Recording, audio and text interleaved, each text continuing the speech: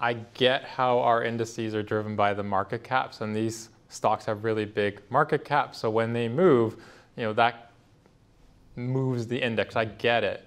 But it's hidden the fact that we've had many stocks work in this market.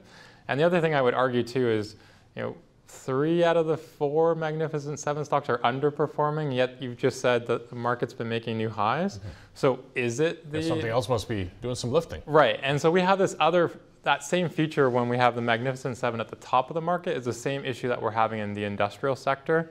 Um, where, yes, companies like a Boeing or a UPS or a Raytheon or a Honeywell are large in comparison to many industrial companies, and their performance is distorting people's views about how strong industrials have been performing.